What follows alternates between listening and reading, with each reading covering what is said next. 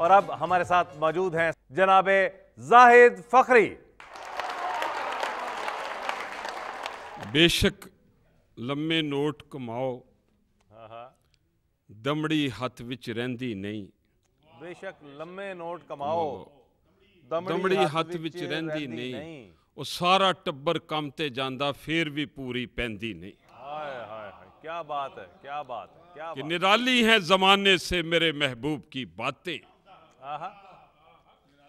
نرالی ہیں زمانے سے میرے محبوب کی باتیں۔ کہیں بھی وہ محبت کے سلیبس میں نہیں ملتی۔ وہ کہتی ہے میری آنکھیں کلو پیترا سے ملتی ہیں۔ میں کہتا ہوں تیری آنکھیں تو آپس میں نہیں ملتی۔ جو افسر دفتروں میں دبدبا اور روب رکھتے ہیں انہیں بھی اپنے گھر میں بیگموں سے جہاں بیگم کی صورت شیرنی رہتی ہو کمروں میں ہمارا حوصلہ دیکھو ہم ایسے گھر میں رہتے ہیں۔ جی جی جی شوہر کہتا ہے بہت حیران ہوں بربادی کسر محبت پر۔ بہت اچھے۔ بہت حیران ہوں بربادی بربادی کسر محبت پر۔ کہ آپس میں عمارت اور اب نقشہ نہیں ملتا۔ یہ سچ ہے میں تیرے ڈمپل پہ مرتا تھا کبھی جانم پر اب وہ ٹوئے ٹبے ہیں تیرا چہرہ نہیں ملتا۔ اور بیگم کہتی ہے کہیں بھی میں اکیلے اب تمہیں جانے نہیں دوں گی۔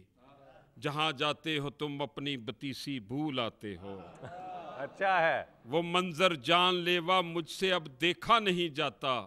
بنا دانتوں کے میرے سامنے جب کھل کلاتے ہو۔ پھر شوہر کہتا ہے کہ وہ جس کو دیکھ کر میں ساری دنیا بھول جاتا تھا اب اس چہرے کی دہشت سے میں اکثر کانپ جاتا ہوں۔ اچھا۔ تمہیں ملنے میں کتنی دور سے پیدل ہی آتا تھا۔ مگر اب کار میں تم کو گماتے ہانپ جاتا ہوں۔ بہت اچھا بہت اچھا۔ اور ایک قطع آخر میں تل کی بات کی تھی کسی دوست نے۔ جناب۔ تل کی بات کسی نے کی تھی۔ تو تل کے حوالے سے ہی کہ ففٹی کے جی بیبی تھی۔ ون ففٹی بنتی جاتی ہے۔ ففٹی کے جی بیبی تھی۔ ون ففٹی بنتی جاتی ہے۔ ہر محبوبہ بالکل اپنی امی بنتی جاتی ہے۔ ففٹی کے جی بیبی تھی ون ففٹی بنتی جاتی ہے۔ وہ ہر محبوبہ بالکل اپنی امی بنتی جاتی ہے۔ تل پر لٹو ہونے والے رہ رہ کے پچھتاتے ہیں۔ چھیل چبیلی بلو باگڑ بلی بنتی جاتی۔ بہت شکریہ۔